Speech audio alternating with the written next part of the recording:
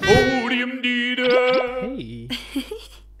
Heb jij wel eens een spinvis gegeten? Wat? Een spinvis? Spinvis? Ja. Maar we gaan nu naar spinvis. Je hebt een spin, je hebt een vis, maar een spinvis? Ja, ik weet het ook niet. Spinvis. Hallo, ik sta hier, ik zit hier eigenlijk naast Spinvis en Saartje.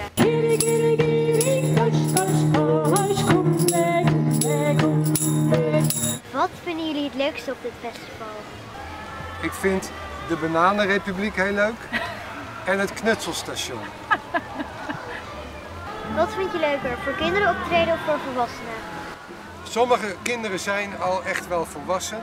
En sommige volwassenen zijn echt nog wel een kind. Dus het maakt niet zo heel veel uit. En ik heb nog een hele brandende vraag. Eet jij wel eens vliegjes?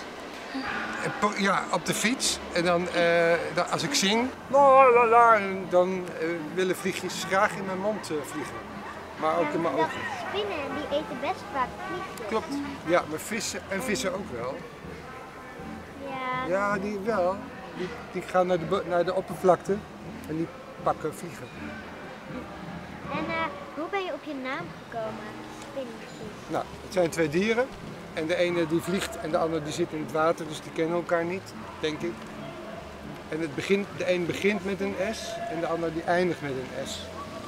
Dat zijn twee S'en. Maar spinnen vliegen toch niet? Je hebt gelijk. Ik bedoel in de lucht als in Ja. op, de, op, de, op het land. Ja. Ja. Ja. En eh, je kon ook andere dieren doen. Waar heb je nog over getwijfeld? Nee, ik, over dieren heb ik niet getwijfeld. Ik vond spinvis meteen wel goed. Maar ik heb wel andere namen geprobeerd, maar die vond ik stom. Dus dit was goed. Zoals welke? Ah, je bent een goede journalist. Ah. ik had een naam en dat, dat was Fahrenheit. Dat vond ik toen een hele leuke naam. Dat is, dat is een soort om, om te, te meten hoe warm iets is. Fahrenheit vond ik een interessante naam. En zo had ik nog meer van die namen, maar ik vond het stom en spinvis was de beste. Hoe schrijf je precies een liedje? Dat is een hele goede vraag. Ik begin altijd met de muziek. Met de piano, met de gitaar ga ik een melodietje maken. Tralalala. Heb ik nog geen tekst. Nog geen tekst. Maar dan heb ik in mijn telefoon heb ik allemaal zinnetjes. Dan heb ik het melodietje. Dan ga ik met mijn telefoon kijken. Hmm, wat zou erin passen? En dan komt het liedje. En die tekst moet je gaan zingen. En dan pas hoor je met je oren of het een goed liedje is. Dus een goed liedje is niet op papier. Dat is met je oren. En nog een belangrijke tip is nooit stoppen. Gewoon doorgaan. Altijd blijven zingen, blijven muziek maken. Want de ene dag is het echt, denk je van dit is helemaal niks. En de volgende dag denk je, oké, wauw, we gaan weer door. En, en zo is het echt heel erg. Je moet altijd doorgaan.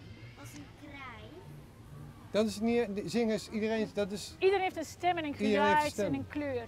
iedereen kan schrijven. Je hebt toch een handschrift? Ik had een handschrift. Als je heel graag wil zingen, maar je kan dat gewoon niet, omdat je ja, niet mooi kan zingen. Ja, oh, stop. Maar mooi zingen, dat is niemand gaat bepalen wie wat mooi is. Ik kan helemaal niet zo mooi zingen. Maar mensen luisteren ernaar omdat ze graag willen horen wat ik zing. En het is niet, niet omdat ik zo'n hele mooie stem heb.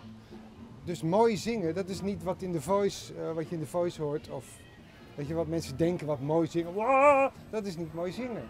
Mooi zingen is dat je de waarheid zingt. Dat je, dat je meent wat je zingt. Dat het klopt bij wie je bent. Ja. Wat je zegt.